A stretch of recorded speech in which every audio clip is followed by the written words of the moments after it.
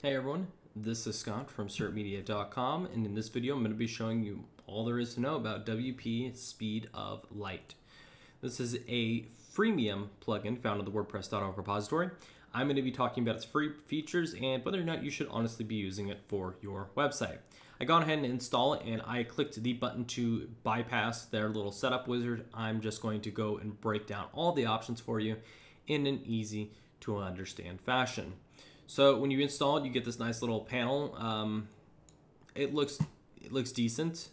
You click if you click on this run a speed analysis, you can click launch speed test and it will attempt to get a generalized speed results for the page. It'll say you have eight plugins. And I'm assuming that if you have a substantial amount of plugins, it will flag you, even though some of the plugins I have installed are quite large. However, to run a speed test, you have to get a web page test API key. My general advice on these types of speed tests are honestly, I don't see why I would get the API key because I don't need to run it from the admin bar. Uh, when I ran the SiteKit video, that was my general advice as well. I just go to the website and run it so that way I don't pull in the data all the time in the admin panel where I'm just not going to read it. My general advice with speed is yes, you should pay attention to it, but you shouldn't be like worrying about it to an excessive degree because while performance is important, I wouldn't say it's the absolute most important bit. So when you install it though, it does the basics. It adds gzip compression, it adds the expires headers, and it does a page caching system. This is great. As you can see here, uh, the TTFB is well within the range that I would say is acceptable, and that's about all that it's done. So basic page caching checked off. Good things to start with. Now, we need to see what else we can honestly do because if this plugin is just a glorified page caching plugin with a nice wrapper, it's not doing much even for a free plugin. Um, we already went through the speed uh, speed analysis. If you go to speed optimization, now this is where the real options start to live. This plugin has quite a bit in common with Autoptimize. In fact, there are so many plugins that have kind of I wouldn't say knocked off Autoptimize, but have been inspired by Autoptimize and I suspect this is one of them. So when you install it, you get this nice little settings panel underneath speed optimization. I kind of wish that the admin settings panel was this page instead of the other nonsense, but you know, here we go. So the cache system is activated. This is the page caching. Expires headers are added. We could choose to cache external scripts. So that's a great feature. Let's see how well it works. We have a Google API JS right here. Does it work? Okay, so doesn't seem like it's doing anything yet. Maybe we have to do some of the other options though.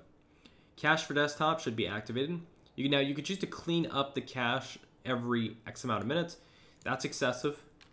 10 hours is totally acceptable. You don't want it to be too low or else you're just wasting server resources. Caching for tablet. So it's the same as desktop and this is same as desktop. The only time you'd want to spe specify it for tablets or mobile is if you're running any sort of PHP checks where it checks the user agent or if you have a mobile specific theme.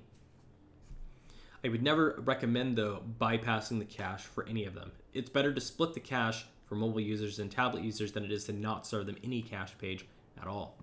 And then you could choose to exclude URLs here to exclude from caching. If you're using WooCommerce, for instance, make sure your cart, checkout, and uh, my account pages are excluded here, and you should be covered of all the basics. WordPress optimization, these are just general cleanup options. They're not going to really do much for you in actual performance. Uh, disabling Gravatars and removing emojis are totally going to improve the performance because it's cutting out actual bloat. Removing query strings won't do much for you, and neither will removing these URLs, but I'll do it just so that way the header is a little cleaner and just to demonstrate that the features do work. Um, I, I really wish that emojis was a free feature because there are so many free plugins that do this for you. You can just slap them on there. They have no settings panels and they do exactly that. Uh, disabling Gravatars is also a good option. You can use only local avatars, which I would totally say is a good thing to do. Gravatars are typically inherently inefficient because they're not very well compressed but that is where we are at. Now, under the group in minify option, we have quite a few interesting settings.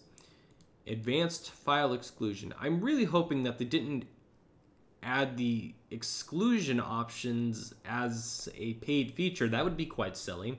Why would you pay to have files excluded? That would just make half the plugin worthless and it kind of traps you if you're running into an issue. So we enabled the HTML compression. We're just going to make sure that it works. Awesome. It does. These compressions look very similar to Autoptimize. The JS isn't being combined at uh, minified at all, and neither is the inline CSS. That's pretty auto optimized familiar, so I'm assuming they're using the same minification engine.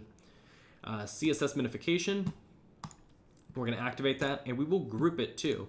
I always typically recommend grouping your files because most of the time your themes and your plugins they're very inefficient. They're probably using code from each other. They're probably using some of the same libraries. And honestly, the reduction in file size tends to lead to more performance gains. While in very niche applications where you don't have very large code redundancy, yes, HTTP 2, it tends to be faster to not combine your files. But the fact of the matter is, most WordPress sites are inherently bloated. They're very large they use a lot of redundant code. They're pulling in whole libraries when they only need a few snippets from it. So combining combining them into one file tends to still yield performance gains. That's why I still recommend it. Uh, JS minification, so we enable this option, and uh, to combine the JS, we enable this. So I wonder if they exclude jQuery by default, because if they don't, that makes this entire option pretty useless.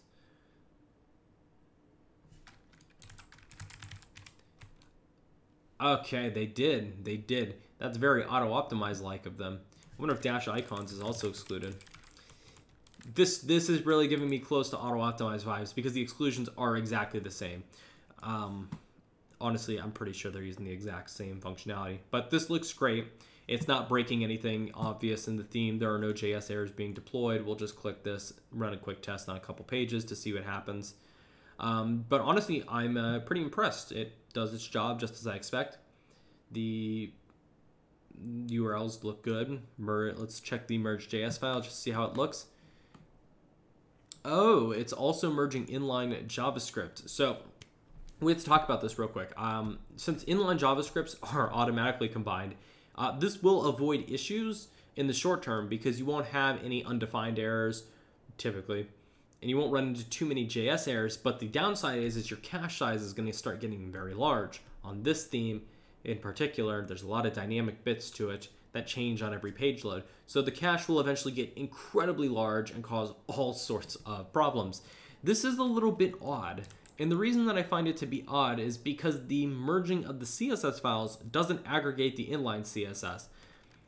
My general advice here is if you're running a fairly complicated website, uh, like this one's running Listing Pro, I would not enable the group JS option in this plugin because your cache size is just going to get absurdly large. In fact, you would honestly be better just turning off the minify options and using Autoptimize where you can do the exclusions for free. Um, so really weird settings. I'm not fully understanding some of the logic that they chose here.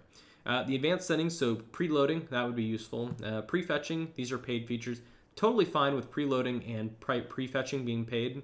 They have to make money somehow, and but uh, exclusions, I'm totally not okay with exclusions being a paid feature. That's basically saying, hey, we're shipping you a product that kind of works, but to get the bulk out of the features that we're already providing to you, you have to pay for it anyways. I would rather they just didn't include the grouping feature for JS and CSS than to like give it in such a half-baked manner. So, not acceptable.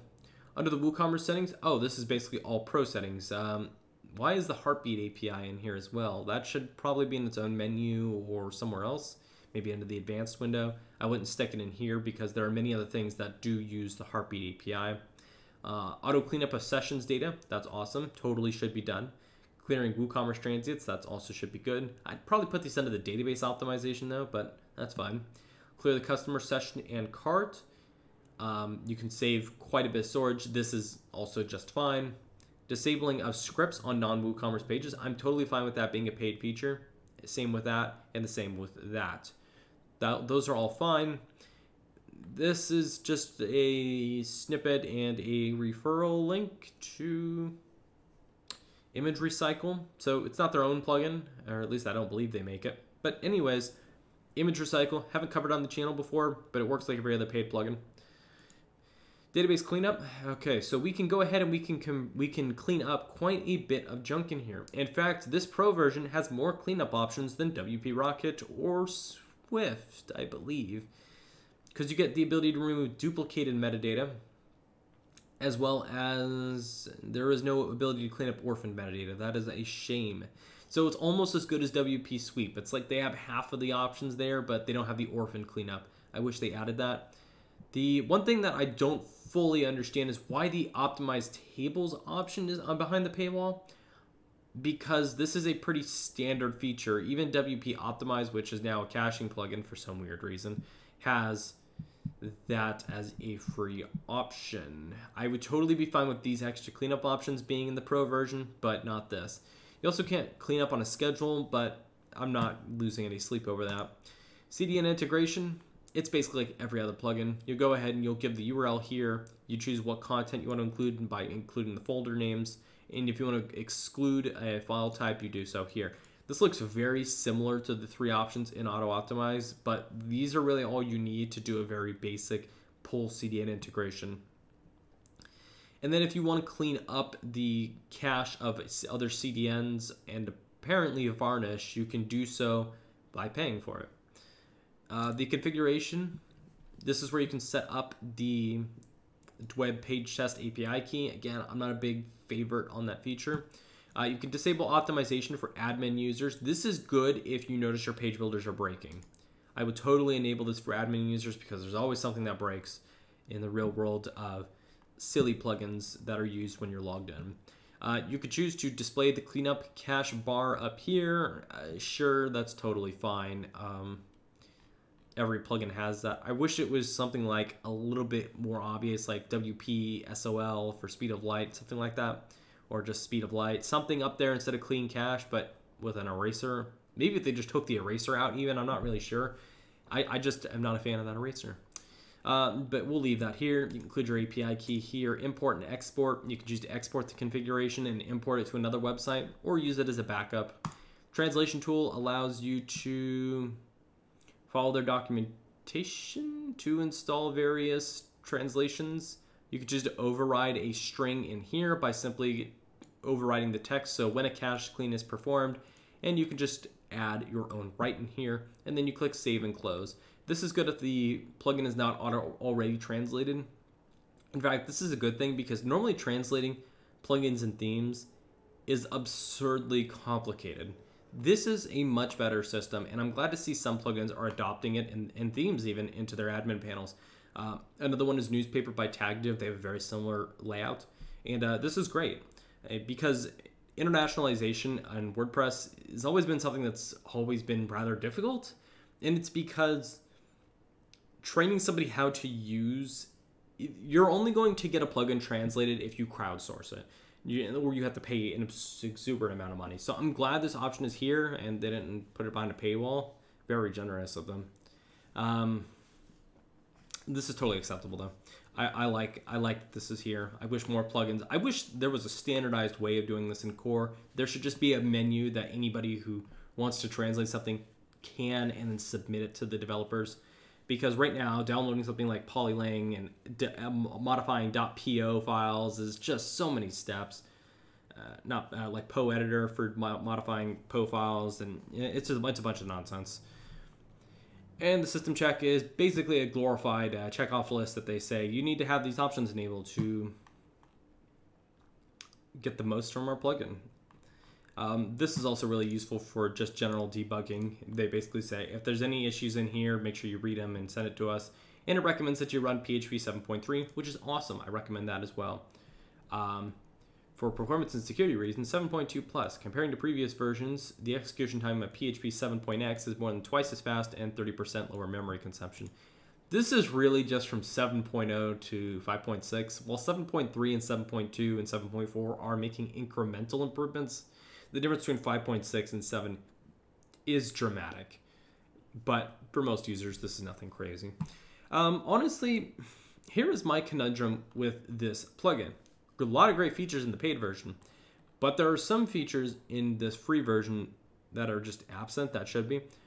having the JS automatically merge inline JS and then selling the solution as not combining it is not an acceptable answer.